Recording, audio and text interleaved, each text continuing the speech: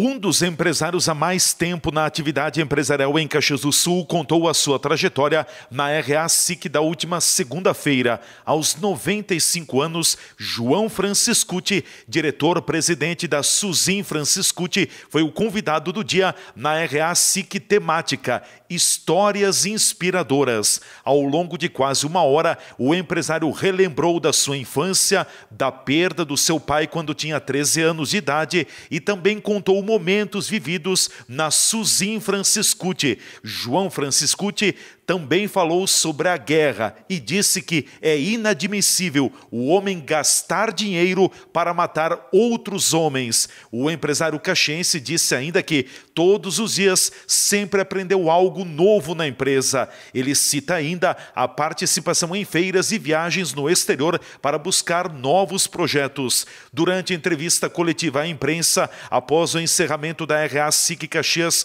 João Franciscuti pediu para as pessoas pessoas trabalharem com sinceridade e para que valorizem o trabalho da equipe como forma de progredir nos negócios. Eu trago o seguinte: que todos uh, trabalhem com sinceridade, com, com bons funcionários, que considerem a equipe não uma pessoa, uh, assim o trabalho de uma equipe para ir para frente, tanto funcionários, patrões, país, tudo para o bem do nosso Brasil. Ao longo da trajetória da, da, indústria, o senhor deve ter passado por muitas dificuldades, como o senhor partilhou aqui, mas também muitas conquistas. O que, que o senhor lembra desse momento? Que aprendizados o senhor coleciona? Bom, o, os aprendizados assim numa indústria que é a nossa, que começou praticamente do zero, uh, sempre foi aprendizados. Todos os dias a gente aprendia alguma coisa. E nos ajudou muito as viagens que fizemos para o exterior, inclusive eh, feiras, onde tivemos muita ideia, muitas boas ideias e nos levou a, a, a passar por esse mundo todo com mais facilidade. Por isso, eu acho que o industrial deve pensar o seguinte, é, que é, tem que manter a, a, vida funcionando, a vida industrial, porém, isso às vezes significa sacrifícios, mas o sacrifício depois é compensado quando é com boas intenções.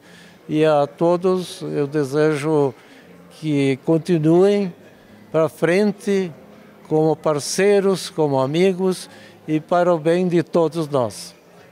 O senhor também teceu muitas considerações com relação à guerra, que as, as, as pessoas acabam se armando, gastando um dinheiro muito grande para matar homens. É um grande mal da humanidade?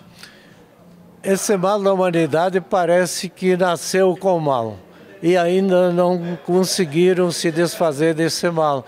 Eu acho que com o tempo nós todos, não é só os que fazem a guerra, que às vezes é meia dúzia ou uma dúzia, ah, mas devem pensar que não tem significado nenhum esse negócio de estar tá um matando o outro para conseguir coisas materiais, que isso nós vamos deixá-los aqui de qualquer forma. Uh, eu acredito que a guerra é, é, nessa época já é inexplicável, não tem sentido.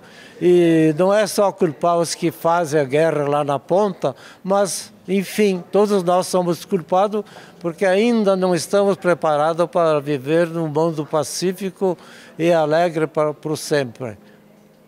Mais uma pergunta de minha parte, a última. O senhor falou num determinado momento da uh, Suzin Franciscuti de que 10, 20 virabrequins era produção para 5, 6 meses, né? Hoje a empresa, a indústria produz em torno de 5 a 6 mil virabrequins. Ah, houve uma evolução muito grande nesse período?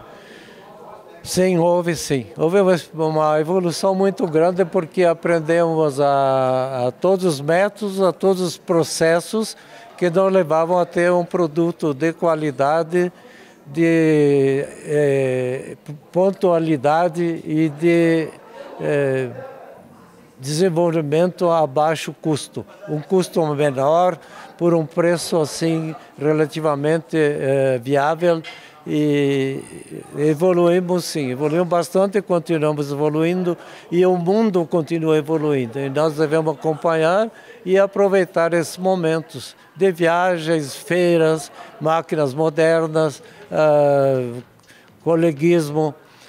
Espero continuar progredindo sempre, não só nós, como todo mundo, mas para o bem, para a paz e para a vida social muito alegre e feliz.